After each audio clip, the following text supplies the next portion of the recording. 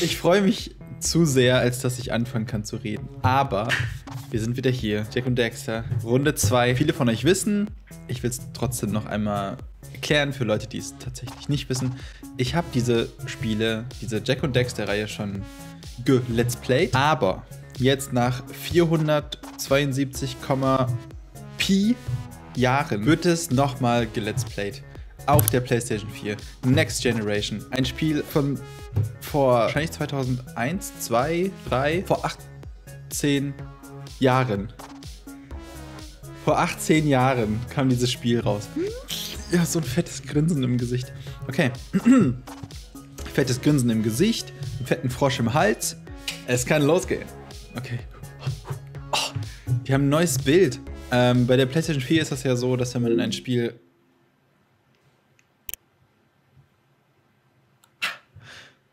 2001, man sieht's. Das ist ja wirklich die PlayStation 2 Version. Ich habe das Gefühl, das läuft auf einem Emulator auch der PlayStation 4, statt dass die die HD-Version von der PS3 rübergenommen haben. Versteht man, was ich meine? Holy shit.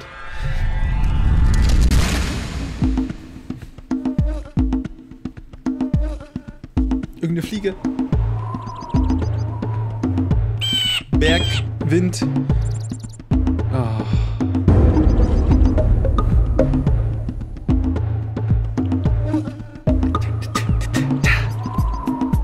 Okay, ähm, man hat mir gesagt, das Spiel ist tatsächlich die Version aus der PlayStation 2.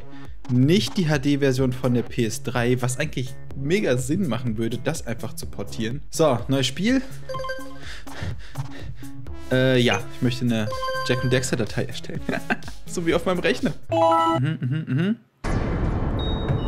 Mein Leben lang habe ich die Antworten gesucht, die mein Vater und meines Vaters Vater nie gefunden haben. Wer waren die Precursor? Warum erschufen sie die riesigen Monolithen, die überall auf unserem Planeten verstreut sind? Wie haben sie das Eko bezwungen, die Lebensenergie dieser Welt? Was war ihr Plan und wieso verschwanden sie? Ich habe die Pflanzen befragt, aber sie erinnern sich nicht. Die Pflanzen haben die Felsen befragt, aber die Felsen wissen es nicht mehr. Nicht einmal die Felsen können sich erinnern. Jede Faser meines Körpers sagt mir, dass sich die Antworten im Besitz eines jungen Mannes befinden, der sich seines Schicksals nicht bewusst ist, dem nichts daran liegt, die Wahrheit zu finden, der meine Führung ablehnt. Aber warum sollte er auch schon auf den alten Samos, den Weisen, hören? Ich bin ja nur der Herrscher des grünen Ekos, einer der weisesten Menschen der Welt. Ah. So scheint es, dass die Antwort nicht etwa durch sorgfältige Forschung oder vernünftiges Überlegen gefunden wird. Oh nein! Wie so viele schicksalhafte Geheimnisse fängt alles mit einer kleinen Ungehorsamkeit an. Hey, äh, Jack, der grüne Kerl hat uns doch verboten, hierher zu kommen.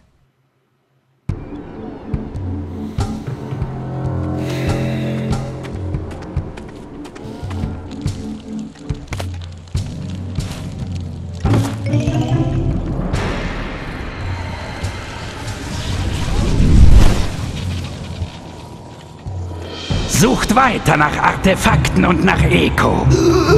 Wenn die Einwohner Precursor-Gegenstände besitzen, ihr wisst, was zu tun ist. Bestraft jeden hart, der das Dorf verlässt. Wir werden zur rechten Zeit angreifen.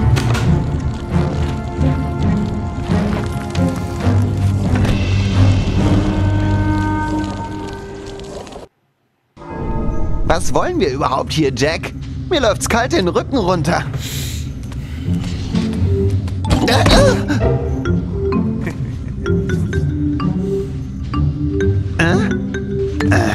Blöder Precursor-Schrott. Uh, was ist das für ein dunkles Zeug da? Sieht ja nicht gerade einladend aus. Der Weise plappert ständig über die Precursor, die das Zeug hier erbaut haben. Wohin sind sie gegangen? Warum erbauten sie diesen Schrott? Ich mag Precursor-Orbs und Energiezellen genauso wie jeder andere, aber wenn du mich fragst, waren das schon echte Loser. Ah, wie hast du das gemacht? Jack, ich glaube, es gibt Ärger.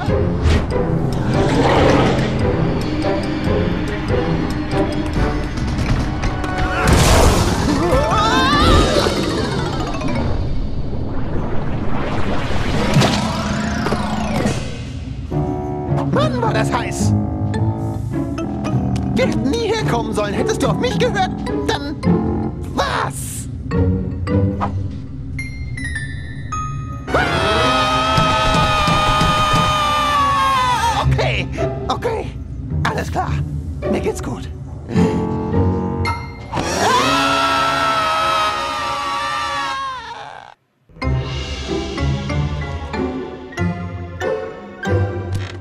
Was in grünen Teufelsnamen wollt ihr zwei? Wir, wir, wir waren dabei. Ich, ich war... Du sei still. Anstatt meinem Rat zu folgen, seid ihr beiden an dem einzigen Ort herumgestreunt, den ich euch verboten hatte. Der Nebelinsel. Das stimmt und ich... Äh, Und Dexter, du hast endlich das überfällige Bad genommen, aber in einer Wanne voll mit dunklem Echo. also, alter Mann, willst du hier jetzt rumquatschen oder hilfst du mir raus aus dem Schlamassel? Ich werde weiter rumquatschen, denn ich finde, du siehst viel besser aus als vorher. Und außerdem, ich könnte dir gar nicht helfen, auch wenn ich wollte. Was? Es gibt nur eine einzige Person, die das dunkle Echo lange genug erforscht hat, um dich vielleicht zurückzuverwandeln. Gol Acheron der Weise. Aber er lebt weit entfernt im Norden. Weit, weit im Norden. Seit Ewigkeiten hat niemand mehr mit ihm gesprochen. Ich würde euch ja dorthin teleportieren, aber auch das kann ich nicht. Keiner der drei anderen Weisen hat es für notwendig erachtet, sein Tor einzuschalten, schon seit langer Zeit nicht mehr. Der einzige andere Weg zu Fuß nach Norden führt durch den Feuer Canyon. Aber der heiße Boden schmilzt sogar Precursor-Metall. Ihr könnt da nicht einfach so durchgehen. Aber ihr könntet durchfliegen, wenn ihr einen Zuma mit Hitzeschutzschild hättet. Zufällig arbeite ich im Moment gerade an so einer Maschine. Mit nur 20 Energiezellen hätte sie genug Energie, um der Hitze des Canyons zu widerstehen. Nicht wahr, Papi?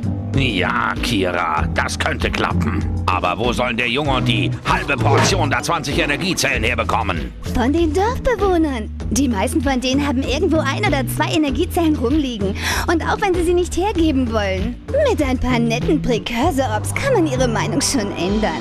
Und bestimmt gibt es draußen in der Wildnis noch mehr Energiezellen, die nur auf ein paar mutige Abenteurer warten. Nun, einen mutigen Abenteurer haben wir ja schon. Mutige Abenteurer? Ihr beide würdet ohne Anleitung nicht mal aus dem Dorf rausfinden. Bevor ihr mit irgendetwas anfangt, solltet ihr lieber durch das Warp-Tor gehen und am Felsgeisi ein wenig üben.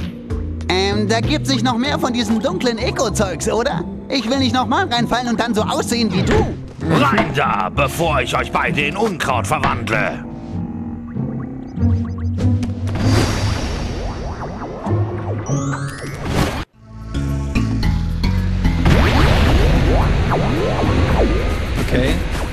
Gerät ist ein Kommunikator.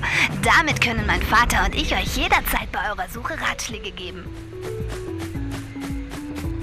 Ist jetzt der Zeitpunkt gekommen, wo ich tatsächlich spiele und rede und nicht unterbrochen werde? Okay, ich unterbreche mich jetzt selber kurz. Ich muss die Kamera kurz umstellen, sonst ähm, sterben wir öfter, als ich das will.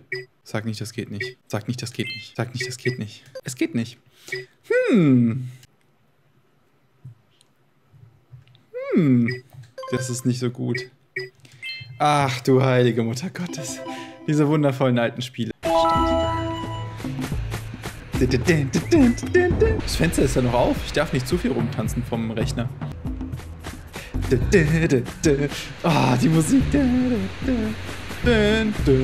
Okay, alles klar. Ähm, das ist Jack und Dexter. Wir spielen beide immer gleichzeitig. Nein, eigentlich spielen wir Jack. Äh, und Dexter hockt bei uns auf der Schulter. Wem erkläre ich das? Ihr kennt das Spiel alle. Ihr wolltet es. Jetzt kriegt ihr es. Oh mein Gott, die erste Rollensprungrolle seit langem. Okay, wir fangen an. Die erste Kiste dieses Spiels geht kaputt. Und die dritte. Und wir brauchen nichts davon. Okay. Ähm, es wird wahrscheinlich noch viel erklärt werden, genau. Precursor Orbs. Wenn ihr genug davon sammelt, geben euch ein paar der Dorfbewohner eine Energiezelle dafür. Okay, ich werde wahrscheinlich äh, nichts selber erklären müssen, weil das Spiel tut das für einen. Man sammelt Dinge.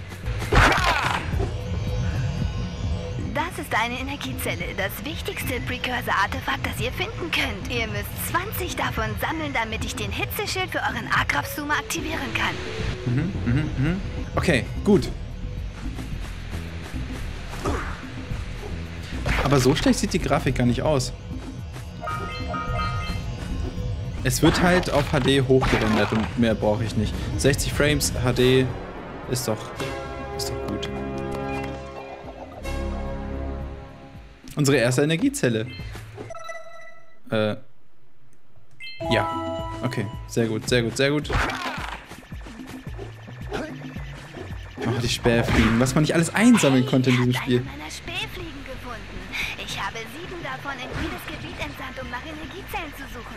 Aber die Lurker müssen sie alle gefangen haben. Die Lurker.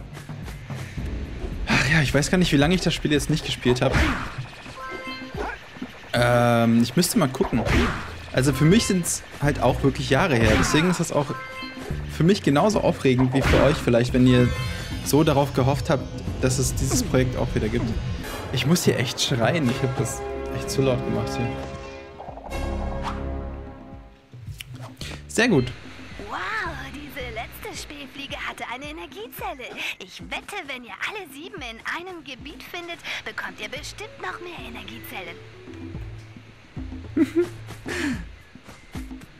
Ähm, ja, für mich ist jetzt so ein bisschen die Frage, was ich alles noch erklären muss und was nicht. Diese Sperr... Das hier ist blaues Echo. Es enthält die Bewegungsenergie. Mit blauem Echo kannst du schnell rennen. Oh nein. Was ist geschehen? Uiuiui. Ich habe hier so einen Frosch.